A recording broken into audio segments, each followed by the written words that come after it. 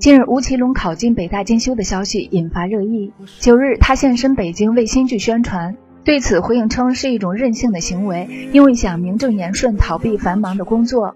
他也表示，尽管现在拍戏很忙，但如果工作和课程冲突，自己肯定会先选择课程。首次担任出品人就为作品拉出一点五亿投资。被问及此，吴奇隆先是大呼都快疯了，随后也坦言拉投资的过程中并没有遇到太多困难。